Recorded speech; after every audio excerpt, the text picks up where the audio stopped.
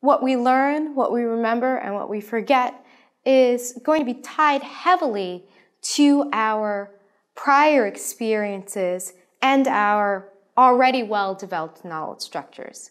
You're not going to remember information that you didn't encode well, that you might have only superficially engaged.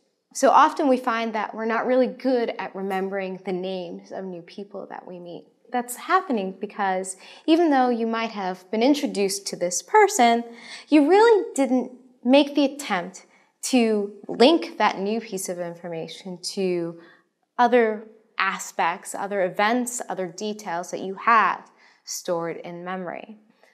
But on the back end, let's say you've done all those things and you really well represented these details, why are you still not able to retrieve them at a later date? There are a couple of reasons why that might be going on.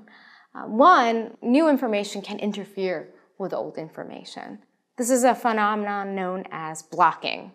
Another, I think, really interesting um, reason why we forget is, well, we just don't have the appropriate retrieval cue. If you don't have the right retrieval cue, you might subjectively feel like you've forgotten this information.